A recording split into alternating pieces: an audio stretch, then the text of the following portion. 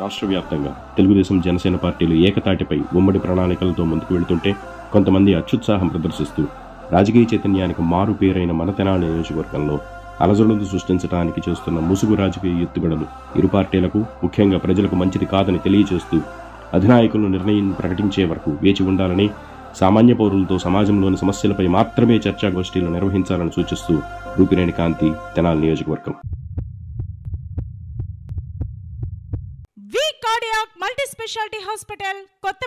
Tenali. Limited ఖాళీ స్థలాలు స్థిరాస్తి తనఖాపై సులభ వాయిదా పద్ధతిలో రుణ సౌకర్యం. బంగారు ఆభరణాల తనఖా మరియు బంగారు ఆభరణాల కొనుగోలుపై గ్రాముకు అత్యధికంగా రుణ మరియు ఓవర్ డ్రాఫ్ట్ సౌకర్యం. సులభ వాయిదాల్లో తిరిగి కట్టే సౌకర్యం.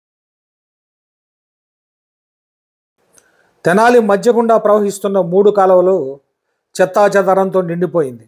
కబేళా వద్ద జంతు కళేబరాలతో దుర్గంధం వెదజల్లుతుంది. పట్టించుకునే నాదుడే లేడా అంటున్నారు తెనాలి పట్టణ మరియు పరిసర ప్రాంతాల అభివృద్ధి సంఘం సభ్యులు. గురువారం సంఘ సభ్యులు తూర్పు కాలువ పడమర కాలువ పడవల కాలువను పరిశీలించారు. ప్రస్తుతం పంట కాలువల్లో నీళ్ళు లేకపోవడం వల్ల కాలువల్లో వేసిన చెత్తా చెదారంతో డంపింగ్ యార్డ్లా మారిపోయింది. ఈ కాలువలో నీరు ప్రవహించాలంటే ఈ చెత్త అడ్డంకిగా మారిపోయింది. వీటికి తోడు కాలువలో పెరిగిన తూటికాడ తూటి ఆకులు కబేళా వద్ద మాంసం విక్రయం కోసం జంతువులను కోస్తారు. వాటి నుంచి వచ్చిన వ్యర్థాలను కూడా ఈ కాలువలోనే పడేస్తున్నారు. మున్సిపల్ సిబ్బంది కూడా ఇళ్ళ నుండి సేకరించిన చెత్తను కొందరు కాలువలో పడేస్తున్నారు. దీనికి తోడు బిల్డింగులు పాల్గొడితే ఆ ముక్కా చెక్క కూడా కాలువలోనే పడేస్తున్నారు. ఈ పంట కాలంలో నీరు కొన్ని గ్రామాల్లో మంచినీరుగా వినియోగిస్తారు. ఈ జంతు కళేబరాలు మరుగుదొడ్ల నుండి వచ్చే వ్యర్థాలతో ప్రవహిస్తున్న ఈ నీరు తాగితే ప్రజలు బ్రతుకుతారా అంటూ ప్రశ్నిస్తున్నారు అభివృద్ధి సంఘం అధ్యక్షులు దర్శి శివకోటేశ్వరరావు. ఇప్పటికైనా తెనాలి ఎమ్మెల్యే పురపాలక సంఘం ఇరిగేషన్ అధికారులు పట్టించుకోవాలని డిమాండ్ చేశారు అభివృద్ధి సంఘం సభ్యులు. ఈ కార్యక్రమంలో రావూరి శివశంకర్ అబ్దుల్ ఆరిఫ్ కమల్ కుమార్ పేర్రెడ్డి అబ్రహం లింకన్ శివరామయ్య రాజేష్ చింపయ్య తదితరులు పాల్గొన్నారు. ఈరోజు మా పట్టణ అభివృద్ధి సంఘం సభ్యులందరూ కూడా ఇక్కడ కబేళ దగ్గర ఉన్న వంతెన దగ్గరికి వచ్చాము ముత్సం సెట్టిపాలెం దగ్గరికి.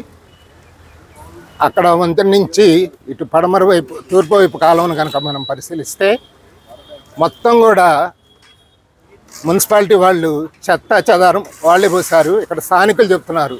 స్థానికుల కన్నా కూడా మున్సిపాలిటీ వాళ్ళు ఇక్కడ నుంచి తీసుకెళ్ళలేక ఇక్కడే పోస్తున్నట్టుగా మనకు కూడా అర్థమవుతుంది.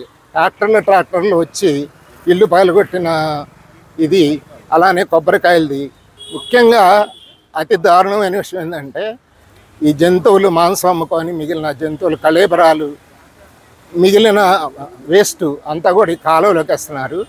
ఈ కాలువలోకి వేయటం మూలకాన ఇదంతా కూడా కుళ్ళిపోయి భయంకరమైన వాసన వస్తుంది. నిజం చెప్పాలంటే ఈ పైన సుమారుగా ఒక వంద చెరువులు ఉన్నాయి. మంచినీటి చెరువులు అనమాట ఈ ఎండాకాలంలో ఇప్పటి నుంచి జూలై ఆగస్టు దాకా కూడా ఈ చెరువుల్లో ఉన్న నీళ్ళే తీసుకుంటారు. ఈ మంచినీటి కోసం అప్పుడప్పుడు ఒక నెల రెండు నెలలకి చెరువులు నింపి ఆ చ- కాలువలలో నీళ్ళు వదిలి చెరువులు నింపుతారు. వాళ్ళకి ఈ నీళ్ళే వెళ్తున్నాయి. అంటే సుమారుగా వంద చెరువులు ఐదు వందల గ్రామాలు ఆ చెరువుల మీద ఆధారపడ్డ గ్రామాలు రేపల్లి అలానే నిజాంపట్నం దాకా కూడా ఉన్న గ్రామాలన్నీ కూడా మంచినీటికి వా- వాడుకుంటున్నాయి. ఇలాంటి చెత్త అంటే కుళ్ళిపోయిన పాడైపోయిన పురుగులు పట్టిన నీళ్ళు కనుక వాడుకుంటే వాళ్ళకి ఎంత దమ ఎంత దమనీయంగా వాళ్ళ జీవితాలు మారతాయో ఎన్ని రోగాలు వస్తాయో ప్రజలు మీరు అర్థం చేసుకోవచ్చు. ఇక్కడ కబైళా ఉంది. ఈ కబైళాలో ఒక డాక్టర్ ఉండాలి. జంతువుల్ని కట్ చేసే ముందు దాన్ని పరీక్షించి బాగానే ఉంటేనే కట్ చేయడానికి పర్మిషన్ ఇవ్వాలి. ఆ తర్వాత అక్కడే ఆ కబేళ లోపల కట్ చేసి దాన్ని మిగిలిన భాగాల్ని వేరే సేఫ్ ఉన్న ప్లేస్కి పంపించాలి. అది అక్కడున్న డాక్టర్ గారి పని. కానీ ఇక్కడ విచారిస్తే ఇక్కడ డాక్టర్ గారు ఎవరు రావటం లేదని చెప్తున్నారు.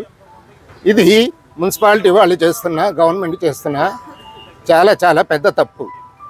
ఈ నీళ్ళు మనకి భూమిలో గుండా వచ్చి మన దాంట్లో కూడా ఇవే వస్తుంటాయి కాబట్టి వాటిని ఇక్కడ బాగు చేయాల్సిన అవసరం ఎంతనే ఉంది. మరీ ముఖ్యంగా చూస్తుంటే రోడ్డు ఎమ్మట పెట్టి అనేక మంది ఈ మాంసాహారం కట్ చేస్తూ అక్కడే ఏలాడదీస్తున్నారు కానీ ఉన్న రూల్స్ ప్రకారం ఏంటంటే జంతువుల్ని లోపల కట్ చేసి వాటికి ఉన్న షాపుల్లో మాత్రమే అమ్ముకోవాలి. ఇక్కడున్న ఈ మాంసం అమ్ముకునే వ్యాపారస్తులందరికీ కూడా మున్సిపాలిటీ వాళ్ళు ఈ మాంసం అమ్ముకోవడానికి సేఫ్ అయిన ఒక షాపుల్ని అలాట్ చేసి వాళ్ళకి వ్యాపారం చేసుకున్నట్టుగా చూడాల్సిందిగా. ఒకవేళ అప్పటిదాకా కనుకుంటే రోడ్ల మీద మాత్రం అమ్మించకుండా మరీ ముఖ్యంగా ఆ వేస్ట్ని తీసుకొచ్చి ఈ కాలువలో పడేయకుండా చూడాల్సిందిగా మా సంఘం తరఫున కోరుతున్నాం. అలానే ఇది ఎటు చేయరు వాళ్ళు మేము తప్పనిసరిగా దీని మీద కోర్టుకు వెళ్తాం. దీని మీద చర్య తీసుకోకుండా ఆగనే ఆగం ఎవరు ఏం చెప్పినా కూడా. ఇది చాలా ఆరోగ్యానికి సంబంధించిన విషయం. ప్రాణాలకు సంబంధించిన విషయం కాబట్టి మేము ఎట్టి పరిస్థితుల్లో చర్య తీసుకుంటామని చెప్తున్నాం. మున్సిపాలిటీ వాళ్ళు వాళ్ళ చెత్త మొత్తం తీసుకొచ్చి ఇక్కడే వేస్తున్నారండి. జంతువుల యొక్క వ్యర్థాలు ఏదైతే వేస్టేజ్ ఉందో అది కూడా ఎక్కడే వేస్తున్నారు. దానివల్ల చాలా దుర్గంధం అనేక రోగాలకి ఇక్కడ మూల కారణం అవుతుంది ఈ ప్రాంతం. నెక్స్ట్ ఎమ్మెల్యే గారు వారు ఎన్నికైన సమయంలో ఎలక్షన్ టైంలో మనకు చెప్పింది ఏంటంటే ఈ వాటర్ ఏదైతే ఉందో ఈ కాలువలు ఏవైతే ఉన్నాయో వాటి ఉన్న ప్లాస్టిక్ మొత్తం శుభ్రం చేసి నీళ్ళు బాగా ప్రవహించేటట్టు చేస్తానని చెప్పి వాగ్దానం చేశారు. జాయిన్ ఆయన ఎందుకైనా కొత్త ఒక సంవత్సరంలో ఆయనే మొత్తం అన్ని చేశారు. కానీ ఇప్పుడు నాలుగు సంవత్సరాలు అయింది. కానీ దీన్ని అసలు పట్టించుకోవడమే మానేశారు. వారు దయవుంచి దీని మీద కొద్దిగా ఫోకస్ చేసి ఈ నీరు ఏదైతే ఉందో ఇక్కడ ప్రవహిస్తున్న కాలువల నీరు ఒక వంద గ్రామాల వంద చెరువులు ఉన్నాయి కింద ఈ వాటర్ ప్రవహించేది. ప్లస్ ఒక ఐదు వందల గ్రామాలు ఈ వాటర్ మీద బ్రతుకుతున్నాయి కాబట్టి ఇక్కడ ఉన్న ఈ మురికి నీరు అక్కడికి వెళ్ళటం వల్ల వాళ్ళు తాగి అనేక రోగాలకి ఇబ్బంది పడాల్సి వస్తుంది. అనేక రోగాలకు గురవుతారు కూడా వాళ్ళు. తీవ్రమైన ఆరోగ్య సమస్యలు వస్తాయి దీనివల్ల. అండ్ ఈ టిల్ట్ తీగిపోవడం వల్ల ఇక్కడ ఆరు వేల కెపాసిటీ గల క్యూసెక్ల కెపాసిటీ గల వాటర్ ప్రవహించే కెపాసిటీ ఉన్న ఈ కాలువలకి కేవలం మూడు వేల క్యూసెక్ల కెపాసిటీ పోవడం వల్ల వాటర్ పొర్లిపోతున్నాయి బయటికి. అండ్ డ్రైనేజ్ ఏదైతే ఉందో జంపరి కాలువకి యాక్చువల్గా వెళ్ళాలి. ఈ డ్రైనేజ్ కూడా కొంతమంది ఈ కాలువలోకే వదులుతున్నారు. అది కూడా మున్సిపల్ చైర్పర్సన్ గారు కొత్తగా ఎన్ని వచ్చిన మున్సిపాలిటీ కమిషనర్ గారు చర్య తీసుకొని దీని మీద తొందరగా సత్వరంగా స్పందించాలని మా సంఘం నుంచి మేము కోరుకుంటున్నామండి.